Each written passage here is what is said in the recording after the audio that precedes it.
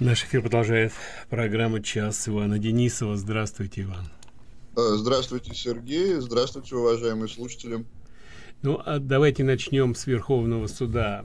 Э, Томас, Горсыч, э, что они значат для Верховного суда. Ну, в общем, об этом. Угу.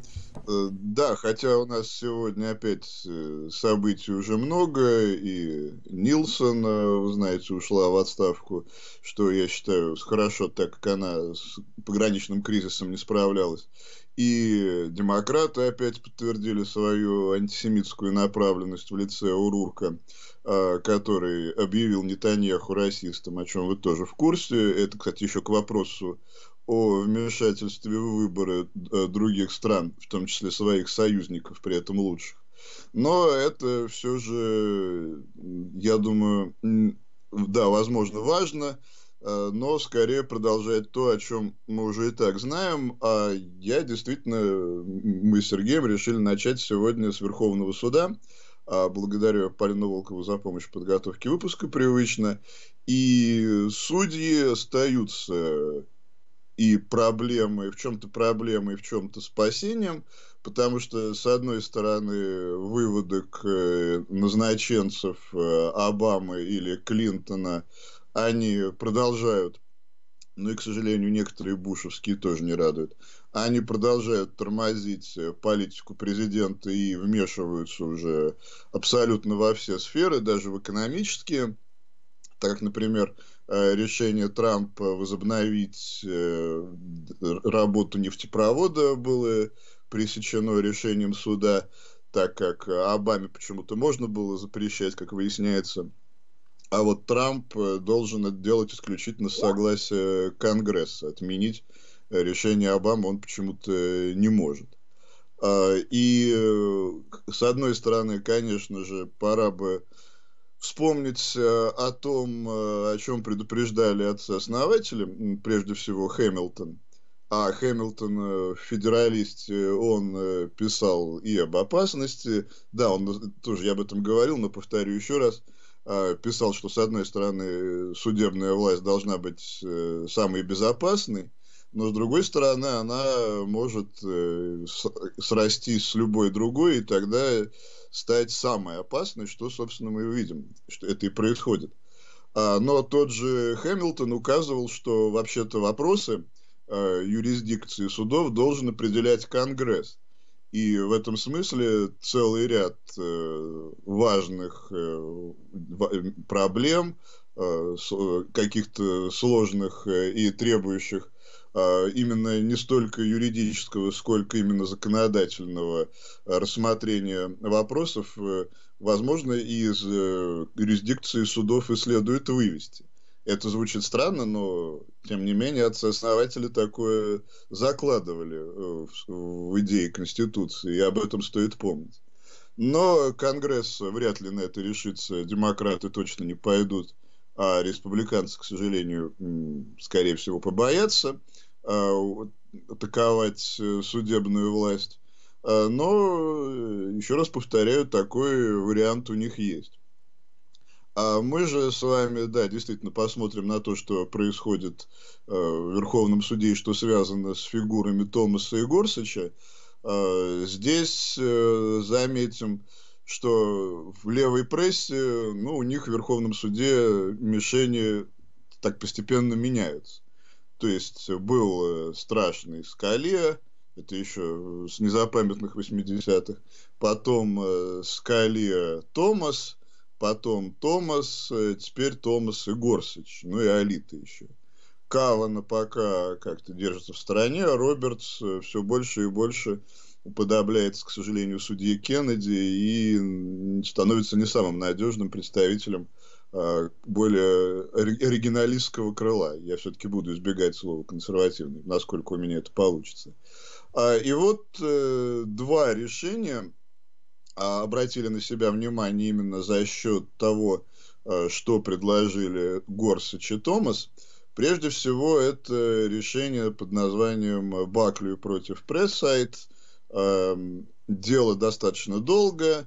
В 96-м еще году Баклию э, из штата Миссури поругался со своей сожительницей, порезал ей лицо, после чего она со своими детьми перебралась к соседу, а Баклю прибежал туда с пистолетом, а, ранил соседа, стрелял в его шестилетнего сына, к счастью, не попал, свою же сожительницу избил, сломав ей челюсть, утащил ее куда-то за город, изнасиловал, потом э, подоспела полиция, он от них отстреливался, сожительница его за это время умерла от потери крови, и более того, пока он был под стражей, еще успел сбежать и попытался убить э, мать своей сожительницы, на его время молотком но его вовремя поймали. Но, в общем, замечательный человек, как видите. А, и э, полагаю, даже те из вас, кто не особенно приветствует смертную казнь, если таковая есть, согласятся, что вот если кто ее заслужил, то это мистер Бакли.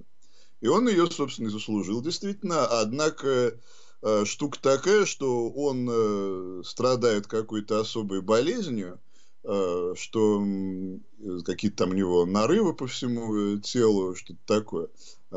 И тот метод казни, который присутствует в штате, а именно инъекция, он, по мнению Баклю, приведет к его особой мучительной смерти, и, соответственно, он, заметьте, вся история разворачивалась в 96 году, а он все это время забрасывал суды его адвокаты Э, жалобами с просьбой что-то сделать, то есть затягивал исполнение приговора, э, мотивируя это восьмой поправкой, где, как вы помните, речь идет о запрете на особо жестокие наказания.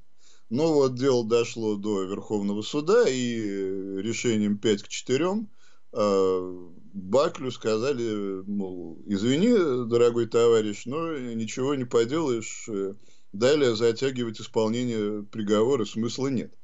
А чем э, руководствовались прежде всего Горсач и Томас, потому что у них, ну, решение суда это Горсач, а Томас э, предложил коротенькое, но такое емкое э, согласие. Если вкратце, то, естественно, оба судьи, о которых я говорю, они возвращают нас к оригиналистской трактовке и к судье Стори, главному для многих эм, герою американского конституционного права XIX века.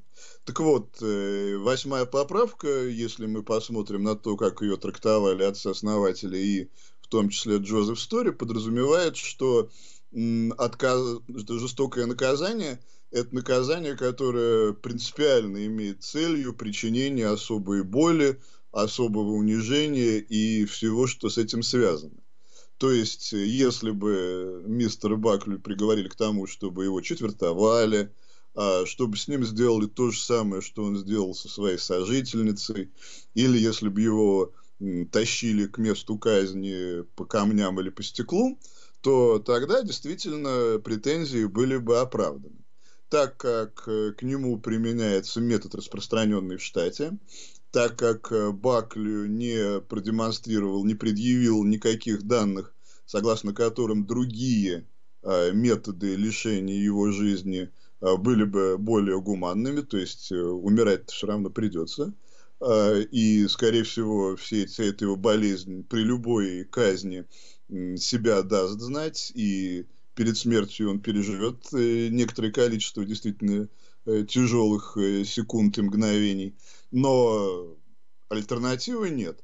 Соответственно, то, что происходит восьмой поправкой, как ее трактовали отцы-основатели и в чем-то Джозеф Стори, не покрывается, и как, э, приговор надо приводить в исполнение. Томас, еще раз повторяю, с судьей Горсачем согласился. А, сразу же активизировалась левая пресса, Э, я не думаю, что даже левой прессе очень э, э, тревожна судьба и очень не беспокоится о том, что станет с уголовником Бакли. А, но левую прессу волнует другое. У них есть очень красивая формулировка. У тех, кто пишет про юриспруденцию, про конституцию, про суды. А в переводе на русский это что-то вроде меняющиеся стандарты пристойности. А за этой красивой формулировкой прячется тот самый юридический активизм. То есть желание Конституцию подогнать под э, политическую конъюнктуру сегодняшнего дня. И для них э, решение Верховного суда и прежде всего заключение судьи Горсача это как раз э, демонстрация того, что суд вот от этого юридического активизма отходит. А так как для левой прессы любой отход от юридического активизма это трагедия, потому что они сразу боятся, что дальше это последуют новые подобные решения, и их э, уважаемое наследие суда, суда Уоррена, о котором я говорил, оно будет похоронено, то, естественно, пошла эта истерика, крики, что Верховный суд узаконил пытки и так далее и тому подобное. Но все это, еще раз повторюсь, лишь указывает на то, что э, Горсач э, действительно был точным назначением и действительно, он э, пока в основном, там не со всеми его решениями, может, я, лично я соглашаюсь, но он действительно оригиналист. Ну и Томас, э, э, про Томаса, ну, к нему мое отношение вы знаете. Второе, это даже не совсем, наверное, решение. Это отказ э, суда рассматривать э, вопрос, э, связанный с запретом э, на вот эти скользящие приклады. Вы помните, администрация президента их запретила. А, организация, одна, выступающая за право на оружие, обратилась в Верховный суд, а, но Верховный суд отказался рассматривать отмену а, запрета. И только двое судей выступили против. Это как раз Горсач и Томас. Здесь э, уже, видите, во-первых, ни того, ни другого нельзя обвинить в том, что они одобряют все, что делает президент – Потому что, повторяю, запрет этих самых прикладов, э, это исходит из администрации Трампа. А они следуют именно Конституции. Потому что к чему бы привело э, решение, к чему бы привели слушания, мы не знаем. Но Томас, э, он неоднократно говорил, что Верховный суд очень, а, так скажем, плохо, он использовал там формулировку как к приемному сыну, что-то такое, как к подкидышу относится к приемной дочери, да, по-русски, если использовать род, относится ко второй поправке. И что права вымышленные, вроде прав на право на аборт и так далее и тому подобное, ставят э, выше тех прав, которые есть в Конституции, скажем, право на оружие. И здесь э, Томас себе не изменил, э, что, конечно же, радует. Ну и радует, что Горсач действительно с ним оказался в паре. Ну, жаль, конечно, что Алит Каван и, опять же, Робертс их не поддержали, но, тем не менее, а, их позиция здесь указывает, что а, после дуэта Скалия Томас теперь у нас есть дуэт Томас Горсач, и это радует. Радует еще и потому, что, возможно, скоро до Верховного суда дойдет э, другое дело, связанное с оружием. А, вы, может, тоже слышали, в Калифорнии. Э, судья Бенитес, э, судья кубинского происхождения, как я понимаю, ну, родился он в Гаване, не знаю, может, там его родители работали, я не нашел больше подробностей, но мне нравится думать, что он как раз родом э, с коммунистической Кубы, и что он знает цену свободы, так как вовремя его родители оттуда вывезли. Так вот, Бенитес назначенец Буша, и он не так давно в Калифорнии отменил запрет на а, обоймы, содержащие в себе большое количество патронов. Э, счел, что их запрет противоречит Конституции, и что массовые расстрелы – это единицы, а случаи, когда люди с помощью этих э, обоим спасают себе жизни, их гораздо больше. Он привел эти случаи, и запрос, и повторяю, он этот запрет отменил. Сейчас, э, скорее, в Калифор... калифорнийские левые юристы бьются в истерике и стараются довести дело до Верховного суда. Повторюсь, э, с одной стороны, радует, что есть Томас и Горсач, с другой стороны, да, конечно, есть опасность, что они останутся снова в меньшинстве, но все же будем надеяться на лучшее, и что решение Бенитеса останется в силе. А я же, заканчивая эту тему, еще добавлю, что и помощники Томаса, вы помните, я тоже к этой теме возвращаюсь, а, его клерки, они э, тоже все чаще и чаще обращают на себя внимание. Например, в Техасе есть судья Джеймс Хо, назначенный уже в администрацию Трампа в 2017 году, тоже работавший у Томаса, и он родом с Тайваня, то есть, опять видите, из страны, к которой я отношусь с симпатией, а судья Хо стал кошмаром э, ЛГБТ-активистов, потому что он э, периодически рубит э, все их инициативы и аннулирует все отсылки к акту о гражданских правах 1964 года, указывая на то, что в том акте мы должны следовать тому, как был этот самый акт писался, да, что тогда рассматривалось, как он трактовался, и что там никаких э, сексуальных ориентаций и того, как человек, который там женщинам мнит себя мужчиной или наоборот, что тогда это никого не волновало, и а, проблема этих людей это ни в коем случае не дискриминация. Ну вот, э, повторяю, Э, леваки бьются в истерике, но Хо гнет свою линию, и дай бог, чтобы он оставался таким же э, несгибаемым, и заветы Кларенса Томаса, оригиналиста э, с большой буквы, воплощал в жизнь и дальше. Сам же Кларенс Томас не так давно в интервью сказал, что он никуда не уходит, что обнадеживает потому что были случаи, что он чуть ли не в этом году уйдет, чтобы упростить процедуру назначения своего преемника.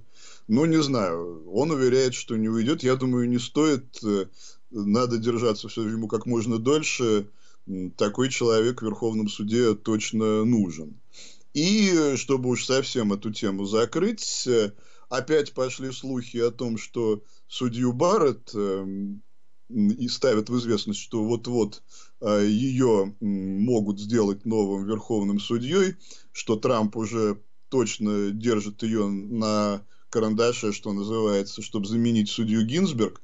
Ну, не знаю, судью Гинзберг, по-моему, уже ничего не берет, э, уже что с ней только не происходит. Э, нет, ну, конечно, я ей не желаю ничего плохого, но уходить э, точно пора. С такой коллекцией болезней и с таким возрастом, э, ну, не место ей в Верховном суде. Конечно же, там против Барретт опять будет атака еще худшая, чем против Кава, помяните мое слово. Но, тем не менее, ее вот Трамп держит, и это, я думаю, тоже скорее положительный момент. Главное, чтобы ну, все-таки как-нибудь э, Гинзберг догадалась, что пора уходить уже. А, ну, здесь я, наверное, эту часть э, закончу. Если Сергей что-то добавит, с удовольствием передам ему слово. Назначение судьи Барретт в Верховный суд было бы э, исключительно замечательным делом. А что касается судьи Гинзбург, я думаю, действительно, мы желаем ей, чтобы она была, жила до 120, как положено, но при этом могла бы насладиться отдыхом на пенсии, и все было бы в порядке. Потому что трудно себе представить, человек после таких страданий физических а, могла, так сказать, полноценно исполнять свой долг. Мне трудно себе это представить. Вот. А, и тогда бы восстановилось некое, некое спокойствие, потому что, что касается судьи Робертса, а, то действительно он как-то... Я, я даже не, не понимаю, почему это произошло. То есть, начиная вот с того момента, как он а, проголосовал за, за Обама Кер, ну и разные версии существуют на этот счет, что на него есть какой-то компромат. Не исключено, что ФБР или ЦРУшники, или ФБРовцы при, в предыдущей администрации сказать, все прослушивали, прозванивали, контролировали всех и вся. Мы знаем точно, что а, они устанавливали слежку за журналистами. Розен, вы помните, Fox News. А, за ним слежка была и прослушивали телефоны его, его родителей. Так что не исключено, что какой-то компромат на Робертса есть. Там что-то связано с усыновлением, что якобы они усыновили детей и какие-то нарушения были. И, конечно, для семьи это трагедия, если вдруг это станет достоянием гласности, да еще как бы отыграют назад историю. Но одним словом, ваши сомнения относительно его э, голосования в суде э, не, э, не безосновательны. Поэтому судья Барретт была бы как раз к месту.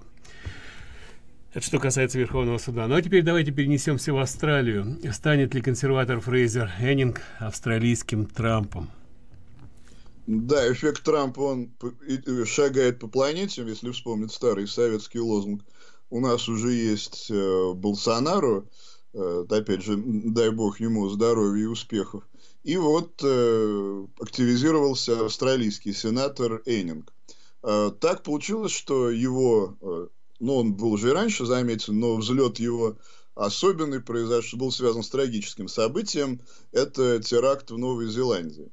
А, к сожалению, этот э, теракт, э, он, помимо того, что э, убийство мирных людей это всегда трагедия, но он вытащил наружу много чего нехорошего в этой самой Новой Зеландии. Ну, во-первых, почти цензура появилась, такая полуофициальная, потому что, например, стали исчезать статьи о том, что мечети, где вот этот теракт происходил, использовались для вербовки террористов и для обращения новозеландцев, в том числе христиан, в мусульманскую веру, да еще и в агрессивную ее форму. И статьи это они не, не сейчас, это статья 2014 года еще. Там кто-то их находил, они исчезают, появляются, но, в общем, это не к добру. Премьерша левая Новой Зеландии в знак э, якобы солидарности с мусульманами нарядилась в хиджаб, что, кстати, вызвало ярость у мусульман адекватных, но, например, иранская активистка Маси Халинижат, которая считает, что хиджабы это и есть э, как раз абсолютно антиженское явление, она назвала действия новозеландской премьерши оскорблением э, мусульманок и иранок вообще. А, и э, вот эта вот исламофилия, вспыхнувшая в Новой Зеландии, ну, плюс еще то, что а, террорист который обожает Китай, ненавидит э, богатых и себя величает зеленым фашистом, вдруг, естественно, в трактовке прессы превратился в правого, но это уже привычное действие.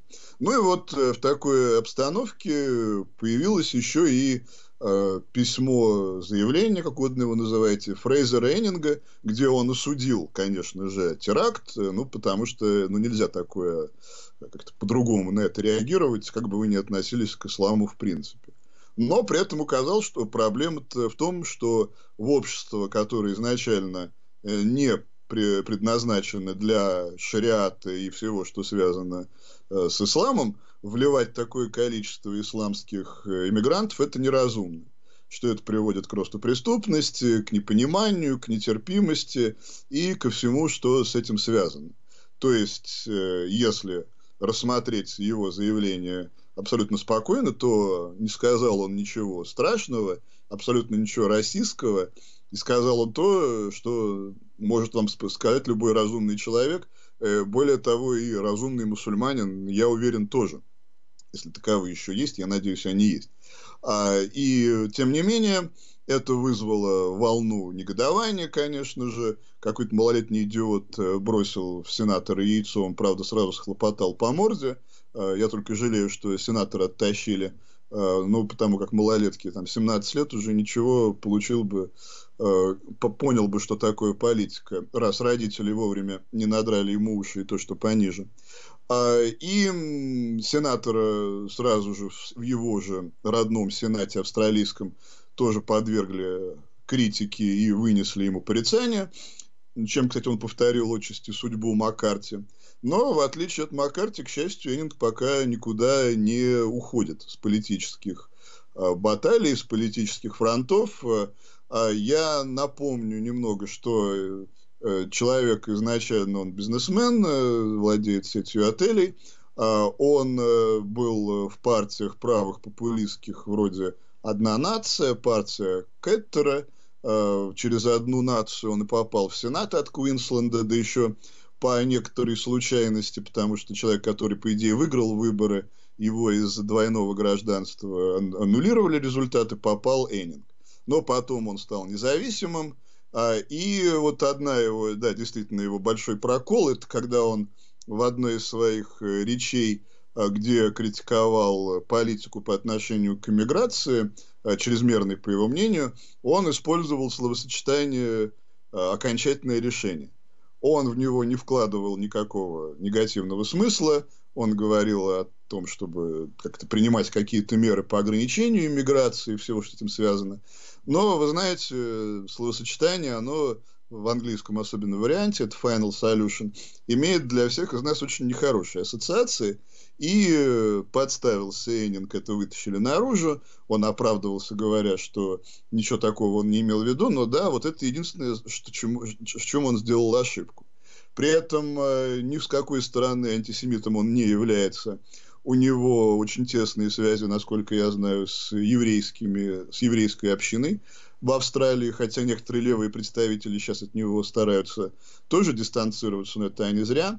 А так он э, за перенос посольства в Иерусалим, он э, категорически против помощи пресловутой палестинской автономии, и он постоянно говорит, что помогая этой самой автономии, австралийское правительство способствует, помогает убивать мирных израильтян.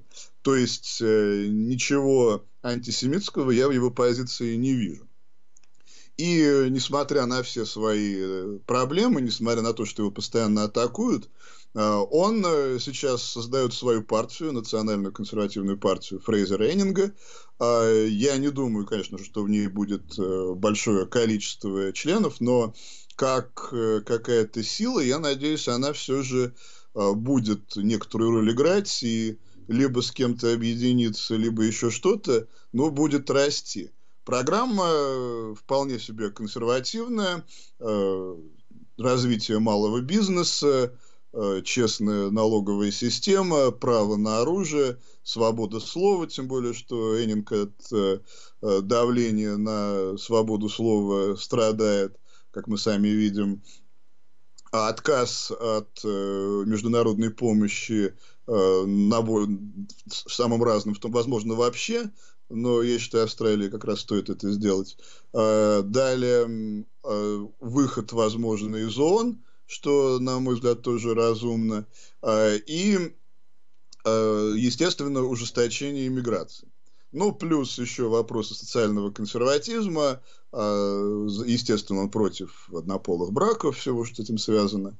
А, ну и в том, чтобы в эмиграции упор делался на представителей а, близких э, австралийскому ну, населению белому, христианскому и, и так далее и тому подобное.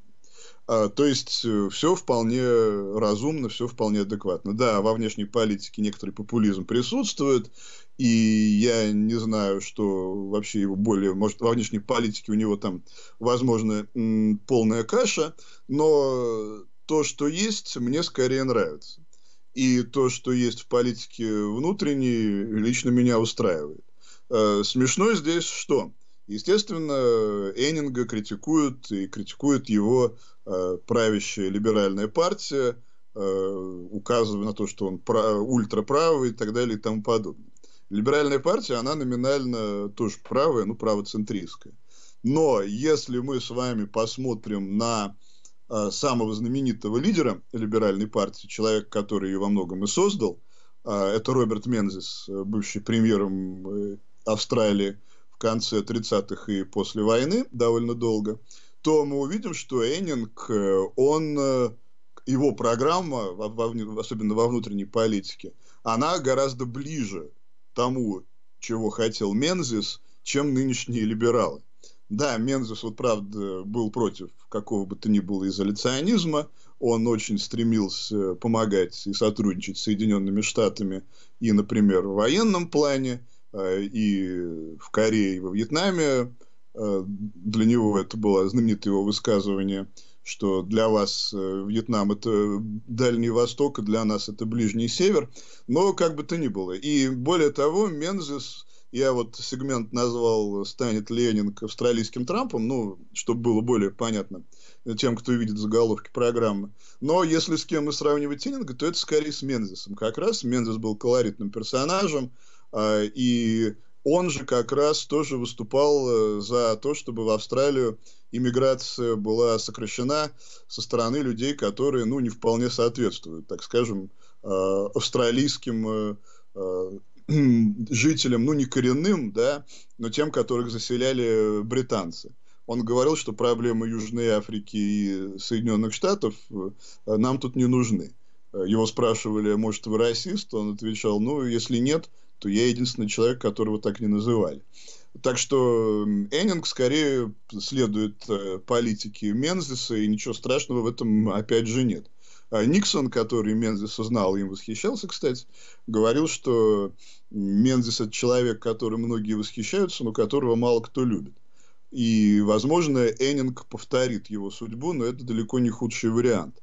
Пока, еще раз, э, у него количество, может быть, последователей не такое значительное, как э, у Болсонару или у Трампа, или у того же Мензиса в свое время. Хотя Мензис тоже знавал серьезные поражения, но, кстати, лейбористы, которые э, убрали его в сороковые, довели страну, как положено, своими около социалистическими методами до кризиса, и Мензис, вернувшись либерализации экономики, очень быстро экономику восстановил. Так что э, Эйнингу есть на кого ориентироваться. Тем не менее, будет, конечно же, ну, ирония, черный или какой, какой угодно юмор, если Энингу удастся не самому, но через своих последователей, через свое влияние э, вернуть э, и либеральную партию, и Австралию к тому, что хотел от своей страны настоящий патриот Мензис. И если ему это удастся, то это замечательно и будет, э, ну, мы, я думаю, только порадуемся. В конце концов, в победу и в успех э, Болсонару и Трампа тоже э, мало кто верил, а видите, у них получилось. Так что пожелаем мы Эннингу или его последователям, которые, я надеюсь, будут, и, может быть, не станут повторять его ошибки риторические прежде всего, и что Австралия вернется к тому, какой она была во времена того же Мензиса. Ну, здесь я, наверное, тоже прервусь. Если Сергей что-то добавит, с удовольствием передам ему слово. Давайте мы в этом месте сделаем небольшой перерыв, после чего вернемся и продолжим.